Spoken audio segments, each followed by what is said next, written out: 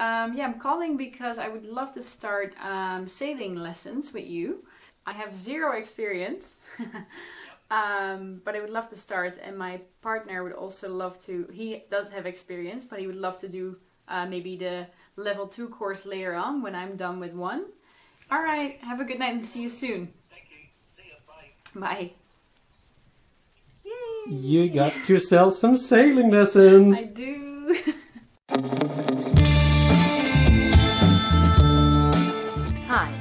We are Steven and Simone. We've been traveling a lot for the past 10 years, but now it's time to change our course and travel more responsibly. We are preparing ourselves for our biggest challenge yet, traveling back from New Zealand to the Netherlands without flying. Together, we will find our way home. Subscribe and follow us on our adventure.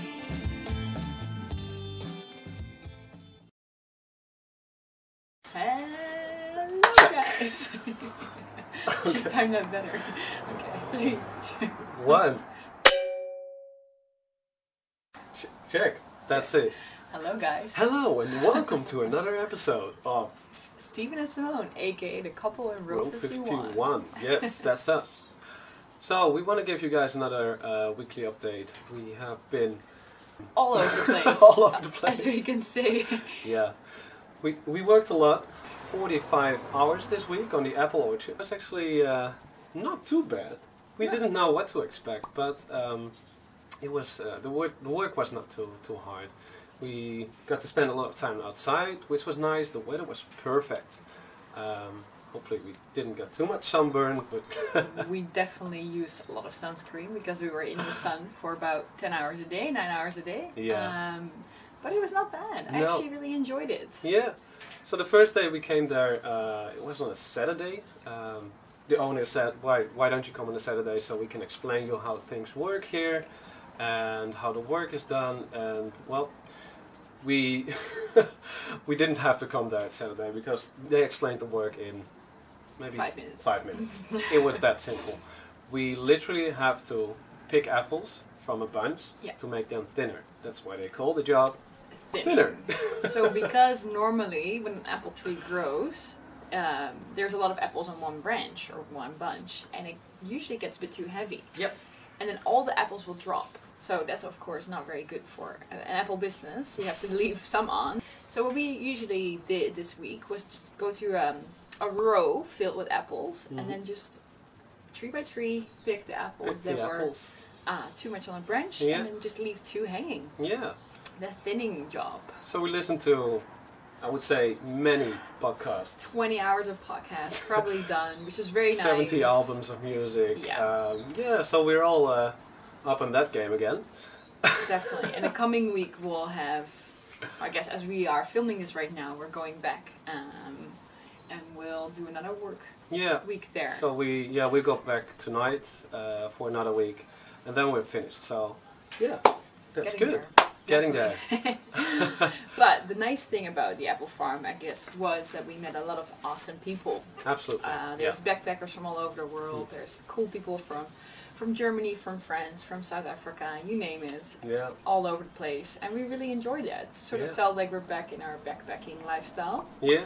So you saw the, the we showed you guys the, the truck we were sleeping in. Yeah. So we had uh, one extra roommate. He was actually a very interesting guy. He is a very interesting Mhm. interesting guy.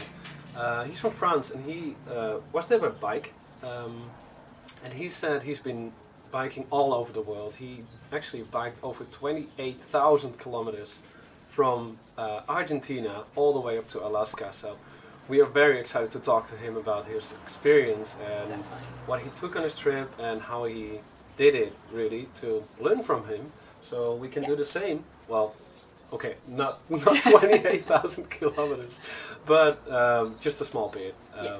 And learn from his experience We're actually gonna interview him for a little Yeah. bit because we want to use it in our uh, video material Mhm. just to talk to inspiring people who travel in a different way. And I guess like cycling all over the world is a different way. so another thing uh, we bought a drone you might have seen the pictures or videos actually on our instagram account um, which is very exciting we uh, spent the last two days um, trying to learn to fly really um, Yep. which is a which is a very interesting thing because we set ourselves a goal not to fly again So we bought a little machine that can fly for us, so we can still see how the world is from up there. And it, uh, we must say, it, it, was amazing. We Yeah. never thought that that would be so much fun. Um, we're Ooh. used to, you know, photography, videography from the ground, like eye eye level, Yeah. maybe higher up, but you never get the On the perspective from the top. and we use the drone, and it just get you. Uh, it opens up a complete different world to you. It's you insane. can just get these views, yeah. and we were just we fell in love with it right away. And you're gonna you're gonna see so much more of that. Um, we'll probably no, we probably we will use some of the shots in this video. Um, so excited to, to hear what you think about that, and maybe if you have some tips of, uh, uh, about drones flying, flying drones, please let us know, and we're more than happy to try it out. Awesome. Film Let's you? give it a little Ah. spin. Dad and his child out for a first stroll. Oh, baby is up in the air.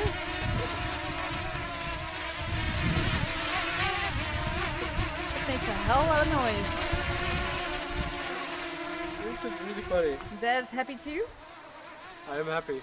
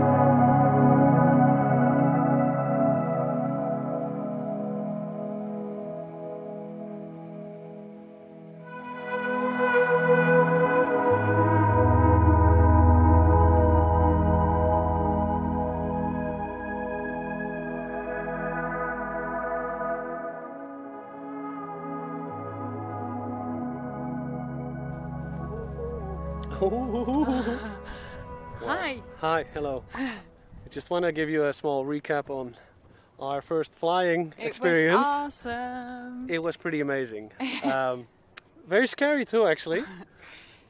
so I started flying the drone, and I was I was gonna fly it like over the cliffs here, around here in the Banks Peninsula, and then sort of over the water. But it had twenty percent. I thought it was gonna be enough to fly for at least like I don't know five or ten minutes. But because you're filming and you're flying, and it's like cinematic shots, it takes mm-hmm. up a lot of battery. So it was clearly when I was above the water, it was telling me return home, otherwise it's gonna Yeah, fly back promptly. no, it says like otherwise it's gonna land. So it's gonna land in the water and then you're like done. So I was like, oh, get it home. and I luckily got it here on time. Yeah, we So got it in time. But I'm sure we got some pretty epic shots, We and still uh, have it. we still have our little friend. Survived our first date. It was awesome. Yeah. Yay. Yay. Good day, y'all. Hello. Okay, that's my farmer's accent. Not sure why I, why I tried to do that, but hello, welcome everybody. Hello. We are on our way to. My first sailing class. Oh yes. Or yes, not yes. sailing class, sailing competition. But also my first time sailing. Yeah, it's it's it will probably be a bit of, bit of both. You'll be experiencing sailing for the first time, and what better to learn it than in a competition, right? Definitely. So we're heading to um, Lyttelton, the harbor, where we're also where I'm also starting my classes this week. Yeah. Um, and they do Wednesday nights like sailing opportunities for us. Yeah, which Yeah. is great. Just we're stuck in traffic, so we're gonna try to rush there. I don't know why it's Uh, so busy here. We, we should make it in time, but um, We should. yeah, even in New Zealand there's traffic. Traffic, can you believe that? But yeah, we're very excited, and um, we're not sure what our role will be on this uh, sailing in this sailing competition, but we'll see. Yeah. It's exciting. The weather is nice. The Yeah. spirits are high, and uh, we're looking forward. We, we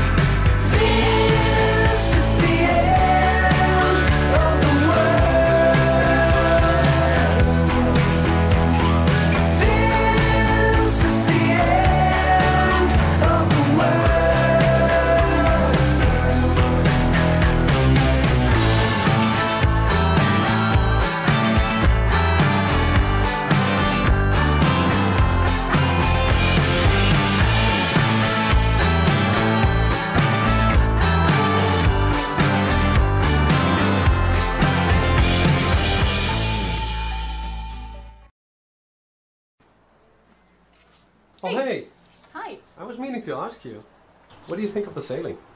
Ooh, I loved it.